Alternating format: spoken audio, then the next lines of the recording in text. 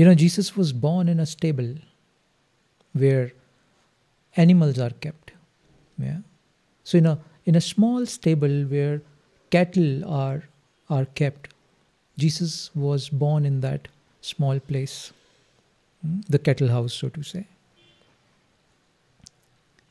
I, it, it really hit me hard. Something struck me there. I do not know if it is written anywhere, this, this, this thing that I perceived about this incident.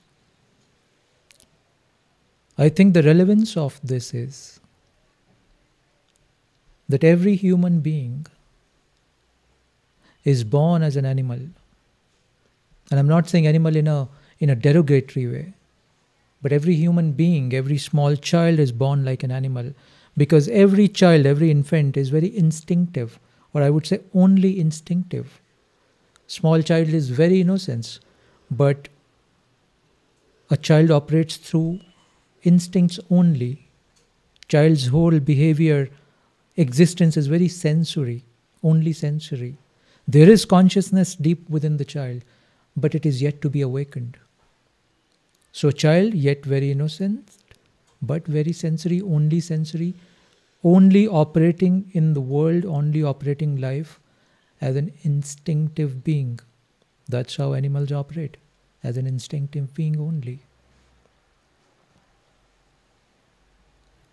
But Jesus is born in a cattle house, in a stable.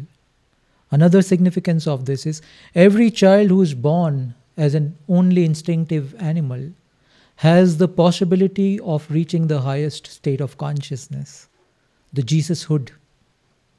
That is what the birth of Jesus signifies. That small event, you know, he was bo- not born in a palace, he was born in this cattle house. Very significant. We're all born like animals.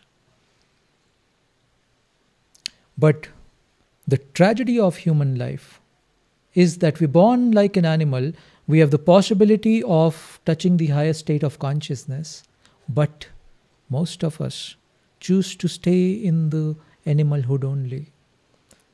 We do not focus our attention, we do not do any conscious effort to expand our consciousness, to move towards our Jesushood, to touch that higher state of possibility. Look around. That's how largely humanity is living, unfortunately. In fact, the popular uh, religious discourse is also like that. That be a follower because you cannot attain the Krishnahood, the Jesushood, the Nanakhood, the Buddhahood. So just be a follower. Maybe the religion is snatching this possibility away from us coloring our imagination, coloring our mind.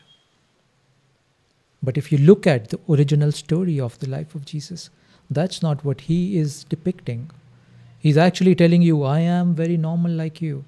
I was also born very normal like you, just like an instinctive being, instinctive animal, but with a huge possibility of becoming the Son of God, claiming the kingdom of God you too have that possibility. That's what to me Jesus is telling all of us.